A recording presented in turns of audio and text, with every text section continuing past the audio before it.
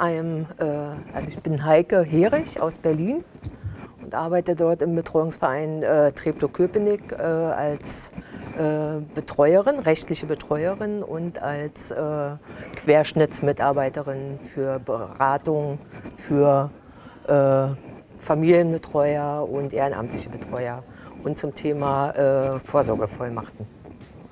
So, um, her, her name is Heike Herich. So uh, she's working for the International Guardianship Network and the local organization Betreuungsverein Treptow-Köpenick, which means like Fundación Tutela, Treptow-Köpenick in Berlin. She's a um, social worker and she's responsible um, for the training and support of volunteer guardians and family member guardians. And she's also an adult guardian.